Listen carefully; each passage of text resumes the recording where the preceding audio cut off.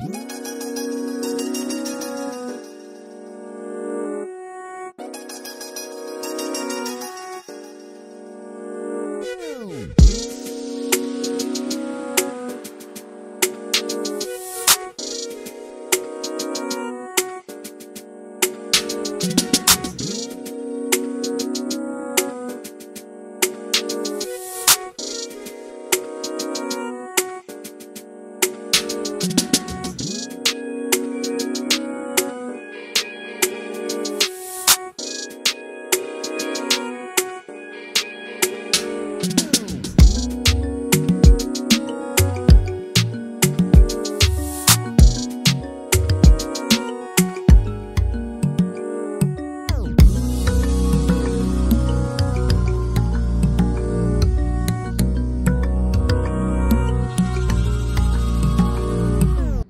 では測っていきたいと思います。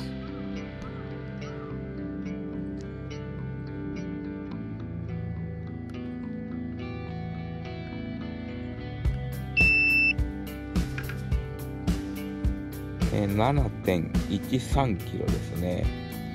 だいぶ軽くなりました。はい皆さんこんにちは。203です。今回はトレックエモンダ SL5 を、えー電動シフト化したんでそれを動画にしました、まあ、コンポを DI 通過したんですけども油圧ブレーキの STI の機械式がかなり、まあ、重く大きいんで、えーそれを変えることによってハンドル周りがかなり軽量化されました。ついでに、まあ、ハンドルもエアロハンドルにして、まあ、あのケーブル類を内装化したんで、まあ、あのステムヘッド周りですねが完全に内装化されたことでさらにエアロ効果が出て速くなってる感じがするんですかね、えーすっきりした感じになりました。で、えーまあ変えてどうだったかっていうとやっぱりハンドル周りがすごい軽くなったことによって、まあ、ハンドリングが良くなりましたね。まあちょっとあの油圧の機械の STI レバーがかなり重かったんで、まあ、実際あのフロントヘビーなところはかなりありました、まあ、あの重量測る時なんかもあの、まあ、重量計のその紐を吊るすところがかなりフレームのトップチューブの前寄りの方を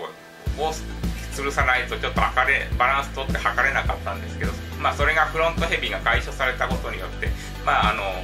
えーまあ、あのサドル寄りの車両のちょうど真ん中ぐらいを吊るすことが、えー、吊るしてバランスを取って測ることができたんでだいぶフロントヘビーは解消されたと思います、まあ、実際それは乗った時にもはっきり違いが分かってまああのやっぱりハンドリングがすごい軽くなったですね。コーナリング入っていく時のフロントの入りがすごくスムーズになったっていう感じもするし、まあ、ダンシングした時にもやっぱり軽くなったんですごい振りやすくてリズムが取りやすくなったしまああのいろんな面でそのハンドル周りの軽さのメリットみたいなすごく体感することができました、まあ、乗り味がやっぱりそれってすごい変わってあの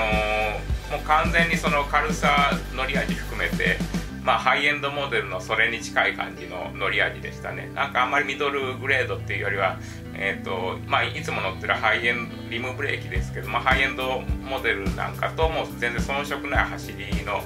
えー乗り味になりました。なんでまああのエモンドの SL シリーズでも結構軽量化していけばグレード的にその SLR に近いような乗り味になっていくんじゃないかなと思います。まあ実際乗ってないんで分かんないんですけども。まああのフレームの形もそして合成感も、えー同じっていうことで基本的に、えー SLR と同じっていうことでまあ、あの重くなってるだけなんです、まあ、そこを、まあ、車両重量軽量化したことによって、まあえー近づけた感じなんですけども、まあ、多分重くしてる SLR と比べてもそんなに遜色ないかなっていう感じはします、まあ、逆にここまで軽量化して、まあ、乗り味も良くなると、えーエモンダの SLR がどれほどなのかっていうのもちょっと乗ってみたいなっていうえ好奇心は逆に出ちゃうんですけどもエモンダの SL シリーズの、まあ、DI 通過そしてフロント周りを軽量化っていうのはすごく効果あると思っておすすめですね。で今回 DI 通過するにあたって、えーまあ、ケーブルの内装ですね。あの、えーシフトケーブルを機械式のシフトケーブルを抜いて DI2 ケーブルを入れるっていう作業をフレームの中にしなきゃいけなかったんですけども新しいエモンダ SL シリーズなんですけども BB の下のところの裏のところに蓋が全くなくて、えー、BB を外さないことにはメンテというか入れ替えというのが全くできない状態だったんで、まあ、今回その BB を外す動画っていうのもこの後に入れましたんでぜひ見てみてください。BB 外しの専用工具を買わないことには何もメンテができないようになってるんで、まあ、ここは買うしかないんで。それがこちらのプラクシスワークスの、えー、SIM-T47-IB っていう、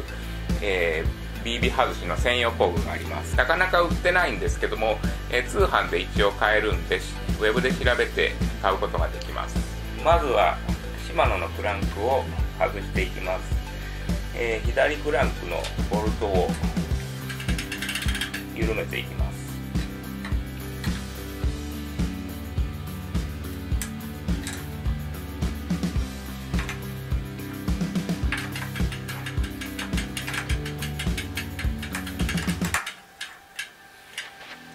でボルトを緩めたところで、マノの専用工具でこれはまあクランクに付属してます。これで、え、センターキャップを緩めて外していきます。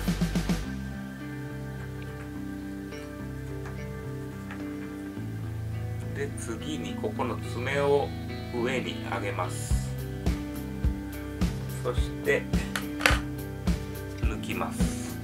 であとはここのプランク抜いていくんですけど硬い場合はプラハンマーとかでこう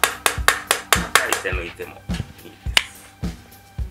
えっと、ホイールがついてる場合はまずインナーに、えー、チェーンを落としてから、えー、抜いて少し抜いて回してチェーンを外します。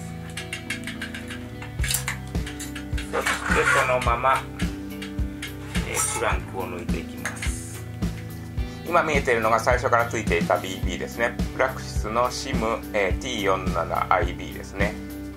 この、BB を今から抜いていきます。左回りにすると締めていくことになるんで、えー、右に回していきます。では工具をカチッと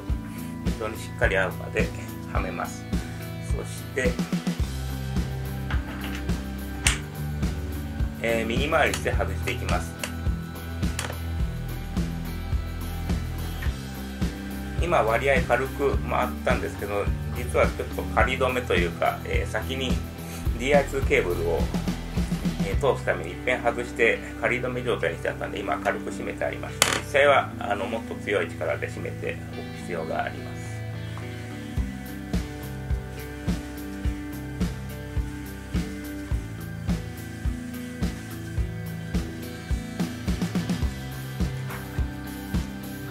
はいこういう形で BB が抜けました。はい逆側も抜いていきます、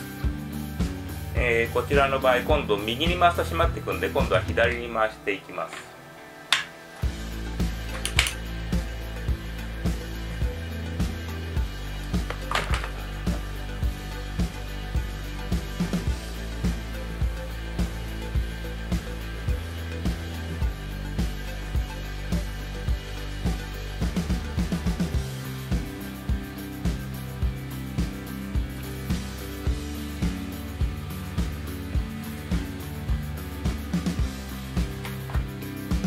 はいこういう形で